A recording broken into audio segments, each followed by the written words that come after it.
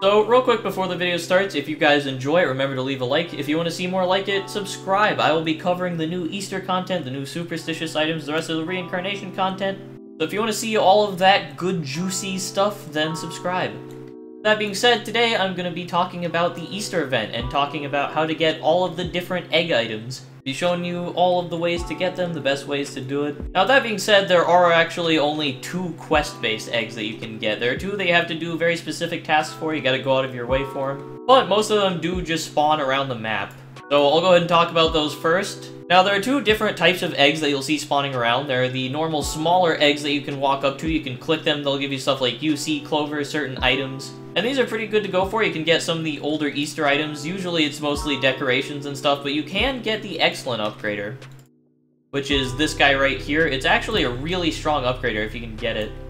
It may not look it, but it's a times two, and it's super, super small, so it's just a nice little useful item. And then you can get stuff like walls and all that, just random decorations conveyors and things from them. So I definitely recommend going for those, but then the main eggs that you're worried about spawning in are the item eggs, and you can tell the difference because the item eggs are a lot bigger, they're a lot more detailed, they're the official Roblox eggs. So if you know the egg hunts, if you remember the eggs, then you'll recognize them right away. And they usually tend to spawn in pretty specific areas. They'll spawn around the outskirts, they have spawns in the forest, and near the middle of the map.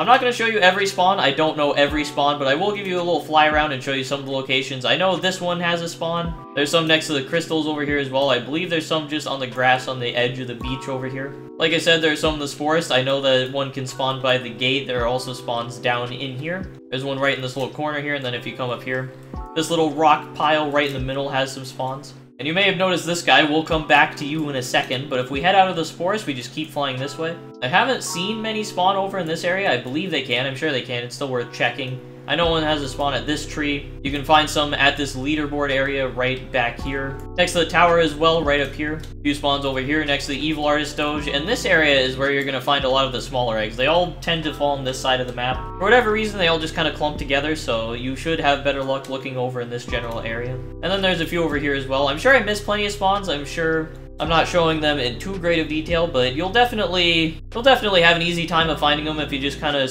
just kind of fly around the outskirts and search for them. It definitely helps to have Champion Infuser as well, that makes traveling and looking for them a lot easier. But just check near trees, check near crystals, check in the middle of the map, and you'll you'll pick up on the spawn locations and where they can be and all that pretty quickly. You'll get kind of a rhythm for it. Oh, and look at that. I've got some egg spawns now. So you can see all of the eggs kind of just tend to fall on this side of the map in this area. These guys just give you little extras, little, little nice small rewards that you can get.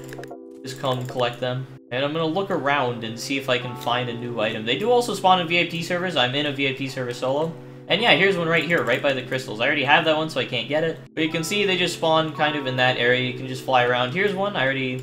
I don't actually have that one, actually. I got the eye egg, and that's what it looks like. You just walk up, click it. Gives you a nice little animation, and then gives you the egg. And real quickly, I'm gonna see if I can find any more. And you can see my method for finding them. I just kind of fly around, go around the outskirts of the island. And look at that, you can barely see it, but there's an egg in that corner there. I already have it, so I can't take it, but it spawned there. And it's important to mention that with getting these eggs, it is down to RNG. Sometimes you'll look around and you'll just not find any eggs, that happens. Just gotta keep on you just gotta keep on it and keep looking around whenever they newly respawn. You'll be able to find them eventually. Sometimes things will kind of slow down though. And I think I pretty much cleared it out. I will go ahead and show the process of actually getting a new egg as well, since I managed to grab myself one that I didn't have. So essentially, you just go to the craftsman, you go to the Easter event, and then you can scroll through here, look for the egg that you have. It is also important to note that you do have to be a certain life to actually claim some of them. Now, I believe it doesn't actually matter if you're that life when you get it. You still get the egg, and then you can claim them once you hit the life that you need. And once you get it, you just click the button, and then it gives you the reward. And it's kind of convenient that I ended up in here, because one of these special quest eggs is up in the tower. You just come up here, and then there's a chest that you can open, and then it will teleport you to the Void Maze and you can get the Egg of Illusion. And now once we make it in here, there's a pretty simple method of actually getting all the way to the Egg of Illusion. And it also is important to mention that this area, there is going to be Daigle following you around. So there's like little mini jump scares where, where your screen will shake, and it'll kind of be spooky and all that. Just don't worry about that. The method for this, you just hug right. Hug the right wall as much as you can. You'll run into dead ends, but you just gotta backtrack and then go the other way. See, like here, dead end, so I just go this way, and then you gotta you gotta move with some speed as well. Once you get in here, you just want to start going because you don't have a whole lot of time on the timer.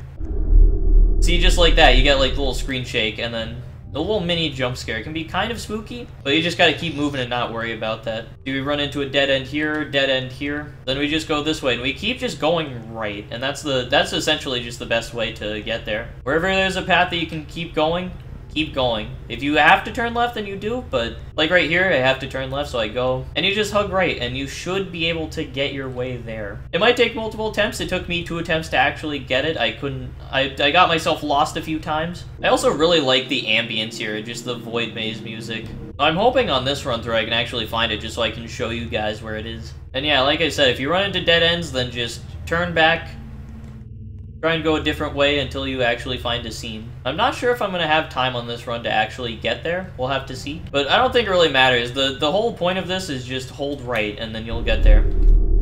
Yeah, see, here we go. I found it. There we go. Egg of Illusion. Just hold right, and then you got it. And then once you get it, you can go ahead and just leave. I, I believe it teleports you back. I don't remember for sure. But you can just leave and then move on. And once you're back into Miner's Haven, just talk to the craftsman, get it like you would any other egg. And now there's actually only one more proper quest egg that you can get. There is one other special egg that I will talk about how to get in a second after this, but the other special egg is down here by John Doe, and you actually have to do the trial again, and you get the egg. You can see he's got the egg next to him. You can't actually take that, you have to teleport into the arena. And then once you're here, it's a little bit different. I'm not going to go through step by step each wave. I will talk about the boss fight a little bit, but the, the sort of principles for this are the same as they originally were. So if you saw my other video, then this pretty much holds true here. You just kind of want to back up, skirt the zombies, try and hit where you can't be hit. I'm doing not a very good job of demonstrating. It is a little bit tougher here too, as Whambies start on the first wave, which is a little bit spooky. But yeah, I'm not going to go into too much detail about the waves. I'll come back once I get to the boss fight. Oh yeah, another thing to mention that I want to get to before the boss fight starts is that you have three lives in this, just like you do in the original John Doe trials, so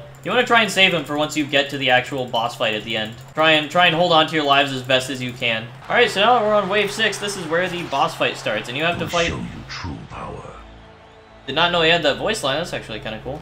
But yeah, you gotta fight Mr. John Doe himself now, and it's actually a little bit of a challenging boss fight. The best strategy that I found is just kind of kind of get up on him, start jumping and circling him. He'll have he has a few attacks. He kind of telegraphs them. You can see there he like telegraphs where those are gonna land. You want to use the Venom Shank as well, of course. And I found that just kind of kind of jumping around, circling him like this is the best way to deal damage. You can do a lot of damage too. He can kind of hurt. Like you can see, I'm kind of I'm real low now all of a sudden.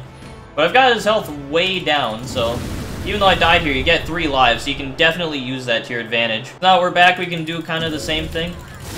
And also, once he does that attack, he's stuck for a second, so you really want to take advantage of that. And just like that, you can take him down. Not too bad at all and then it teleports you back to the game once you're done. Alright, now that you're back, once you get that one, you can claim it the same way as the others. So those are the two main quest eggs and how to actually do them, but there is one other egg that's unobtainable by normal means, and that is the egg field, which is the Farguild egg, little, little cat egg, little little kitten, you know? And this egg, I really don't have too many tips for to actually get your hands on it, because you need to run into a certain person with a launcher.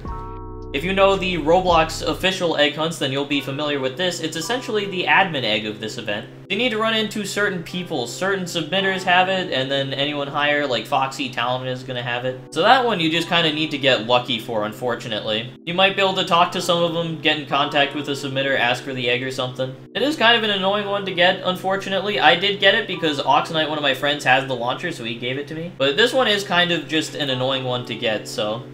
I did want to mention it here at the end, but yeah, that is all of the eggs. That's kind of the rundown, the two quest eggs and how to do them best. And then some of the spawns and all that for, for the other eggs that you can get. And once I get all of them, hopefully I'll get them soon, I will be making a review video covering all of them. Probably going to be a pretty long video considering there is 24 different items to review. But yeah, I'll also be talking about the new superstitious items as well, along with the buffs. I'll be covering those, yada yada. Hope you found this video useful, hope you enjoyed it, hope you're able to get all of the eggs and all that. I'm going to stop rambling. Thank you everyone for watching. Peace.